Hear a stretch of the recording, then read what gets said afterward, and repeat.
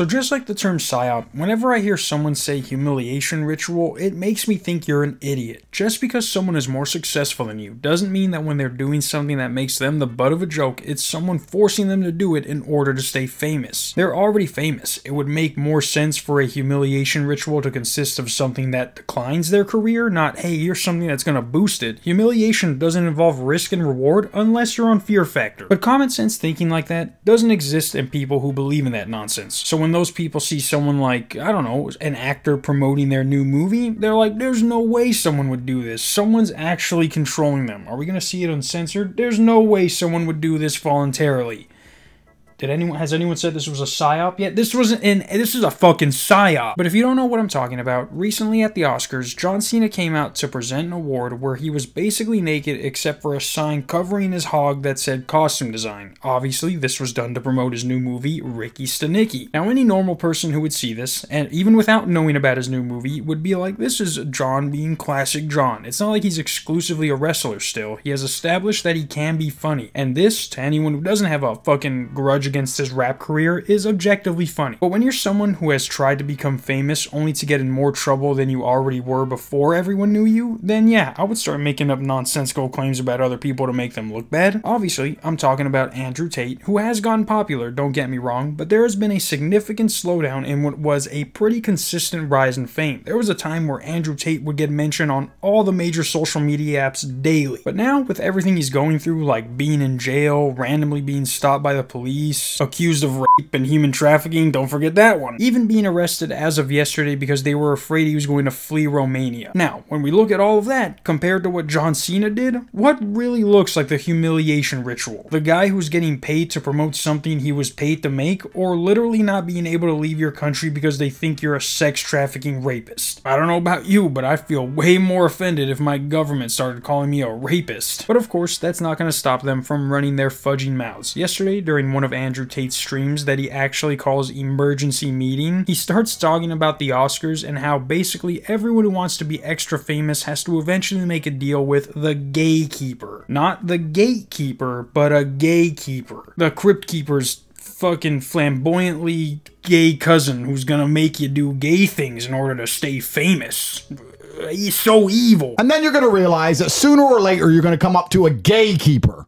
And a gatekeeper is either going to be a publicist, a manager, an agent, a production company, a streaming platform. It doesn't matter if it's YouTube, it doesn't matter if it's it doesn't matter if it's Warner Brothers. Sooner or later, for you to be well known, you're going to have to do a deal with the people who are in charge. So, literally, exactly what he did when he signed to Rumble. He even says that it could be a streaming platform, but then stops himself after mentioning YouTube because he knows that if he goes any further with that, Rumble is going to slip out as one of his examples. A streaming platform. It doesn't matter if it's YouTube, it doesn't matter if it's it doesn't matter. It's like he's looking into a mirror talking to himself because that had to have been exactly what he did. Before he went viral back in 2022, he already had a bunch of money, the MMA career, been on TV, but then out of nowhere he just skyrockets in popularity and then after gets exposed for sex trafficking. Whoever he made a deal with obviously wasn't a gatekeeper because they're like, this isn't the fucking 50s, you dumb piece of shit. I'd make you black if I wanted to humiliate you. You would arguably get more support if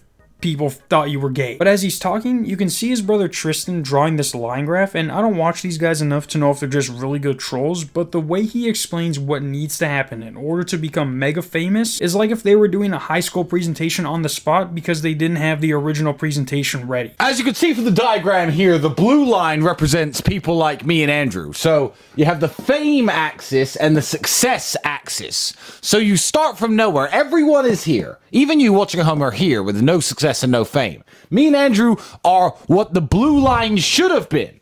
And the blue line goes up here, and this this line here that cert that intersects our graph is the gay line.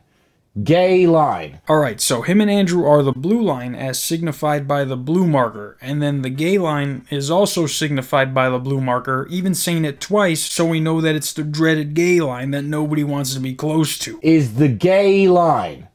Gay line. So you know what that means, guys? Yes, Andrew and Tristan have finally come out of the closet. If I was an asshole, I would have titled this video Andrew and Tristan finally kiss, not clickbait, but this is more than enough for me. I'm a simple man who enjoys the complex things in life. And if you don't turn gay at this line, what they do is there's a matrix attack which spirals your fame into oblivion, or that's what should have happened. That's what the the standard operating procedure is. There's the gay line, there's the go to Israel line. There are lots of lines that they want you to go through. Put on the little hat line. Yeah, guys, there's a doing blackface line, hating on gay people for no reason line. Oh, yeah, and don't forget the being accused of rape line. They already crossed that one. Me, I would have just gone the gay route, so long as people don't think I'm a rapist. I don't think they understand that being slash doing something gay is nothing compared to what they're accused of. But me and Andrew didn't. Dis- we decided not to bow to demands, and the plan was for us to spiral to zero. And they've done this to many people. They almost did it to Alex Jones. I'm gonna do. I'm gonna draw some lines of people's success. Whereas this is the success in gay line. So let's say you release a song. I don't know. I'm gonna take my horse to the old town road. I'm gonna completely normal song, a good song, and you get a level of fame and success, and you get to hear. You better embrace the gay because then your fame, this black line is Lil Nas X, and that's not a racist joke, goes all the way up to the fucking sky. This is what should happen to people who don't bow, and this is what ha- happens to people who do. I like how the only two people he brought up were Alex Jones and Lil Nas X. Alex Jones didn't have his career come crashing down because he didn't want to come out as gay. He's a piece of shit conspiracy theorist who will say anything that goes against what the government says. There has never been a point where Lil Nas X and Alex Jones have gotten to the same point in their careers to where if someone was controlling them, it would be the same person telling them what to do. Alex Jones would have a fucking magic 8 ball telling him what to do, which kind of makes sense if you look at the situation he's in now. But oh no, that's not a humiliation ritual. That's not a $1.5 billion humiliation ritual. But now listen to how Andrew Tate explains why John Cena did what he did. If you don't have your own platforms, the gatekeeper will stop you. When they give you the offer and you say no, if you say no, you're deleted from YouTube or your publicist fires you or no production company will allow you to be in their movies. You basically have no choice.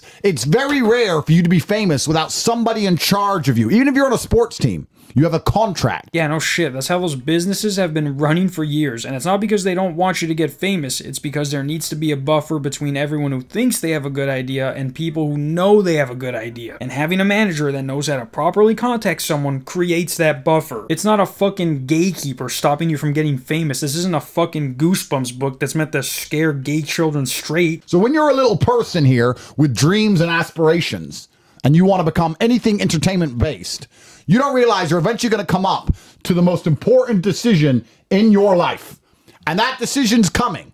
And no matter how good a person you think you are, the time it's finally laid on the table, it's actually very difficult for most people to say no. For claiming not to have done any of this, they are pretty knowledgeable on the step by step process someone goes through. Did you see that arrow he drew pointing that labeled the guy gay? Or what, whatever the fuck that means? The time it's finally laid on the table, it's actually very difficult for most people to say no. It's almost impossible for people not to do that, and then you're like, impossible for what? For them for them to be gay? That's that that's fine with me. And he's like, no, the blue line means you're gay. And he's like, I thought the blue line was representing you guys. And then what about Tristan's drawing of that guy of the, the fucking dick? You're telling me that's not supposed to be in blue? That seems pretty gay. What are we even talking about here? What the fuck? What? Uh, it's actually very difficult for most people to say no because one, they're offered a bunch of money. Two, they're offered for their dreams to come true. And three, they know if they say no, they never get another shot at it. And these people don't want to give up on everything and go work in McDonald's. So they sit there and go, oh, you know, everyone else does it. Maybe it's not so bad. Because they're not principled men like my brother and I. yeah, me and my brother have two principles rape and sex trafficking, not in that order. This retard is literally describing a Disney movie scenario where a kid is given the choice to become corrupt or stay true to his values and help out the less fortunate at the cost of some big reward that would have made him rich. He never uses any names because there's literally nobody in the entire fucking world who fits into what he's describing. There isn't an actor in Hollywood, there isn't an actor in the fucking world who has denied a role and the consequences have been them working at McDonald's. You sound fucking stupid if you think that. I was saying this morning on Twitter how John Cena yesterday at the Oscars was doing his humiliation ritual to satisfy his gay paymasters. And everybody's saying, oh, maybe he's just promoting a movie. Maybe, maybe, maybe. Let me tell you something. I don't care what movie I'm in. You could not convince me to do that. You could not convince me to do anything fruity or weird. It doesn't matter what movie I'm in because there's no need. I can promote other ways. I won't do it because my principles are too strong. So to say he's only promoting a movie is still agreeing with me. You're saying he's promoting his movie for money because he sold a soul to his gay paymaster. Well, he was pretending to be an OnlyFans guy as the character of the movie and releasing OnlyFans content. So never mind the stupid drawing that his brother did, acting like this was proving their point even more. But he says that he would never do anything fruity when he's sitting in front of a shirtless picture of himself petting a dog. Why did they have to oil you up to pet your dog? That picture, along with the word gay, and this picture of a guy with his dick pointing towards you, is probably gayer than what 90% of actual gay people do on a regular basis. And also, no, no one is agreeing with you. When we say he is only promoting his movie, we mean he is only promoting his movie, not as gay paymasters are paying him to promote his movie. What if it was a girl who came out naked? Would you agree with the women who said this was their gay paymasters making them do it? Because that's how fucking stupid you sound. Being gay isn't exclusively for guys. If this was John Cena's humiliation ritual, then so was Halle Berry's topless scene in Swordfish that she got paid $500,000 for. And why do the paymasters have to be gay? I feel like there are a lot worse things a supposed paymaster can be than just an evil homosexual. Like a maybe a Cambodian. But if you guys were really curious as to what Tristan's drawing is here or what like what this actually means, here is he here's him explaining it. This, by the way, so this is you. This is a gay paymaster. So apparently Ron Jeremy is the fucking gay paymaster and he's not even gay, so that makes this even more wild. But this drawing alone should tell you how valid these guys' conversation is. If I showed this to someone and said, hey, what was this conversation about? They'd be like, you paid a stranger to get gay with you at a at a line at a you lined up with a stranger to get gay you fucked a stranger on a line you planked a challenge with a stranger naked on top of you you went gay you just you're gay are you coming out to me? Is this you coming out to me? This would be something you see on a classroom whiteboard as a joke drawn by the class clown. Just because a male celebrity wears a dress and or gets naked and the only people who are making fun of him are the closeted gay homophobics, then it's not really a humiliation ritual because it's only the dummies who hate him for irrational reasons that are getting mad. It would make way more sense if they made John Cena go up on stage actually naked and then have to register as a sex offender after. That is literal humiliation. But when people are like, hey, that's pretty funny, I think I'm gonna go check out his movie. That's called you being a jealous little boy who wishes he was at John Cena's level of fame. Remember, the blue and the black line represent being gay, and according to Tristan, him and his brother are either the blue and or the black line. I'm pretty sure they're trying to tell us something, but I guess we'll have to wait until the next emergency meeting. See you guys tomorrow. Unless there is a catastrophic event like World War III, then I will unfortunately have to see you until everything dies down. Peace. My elbow cracked.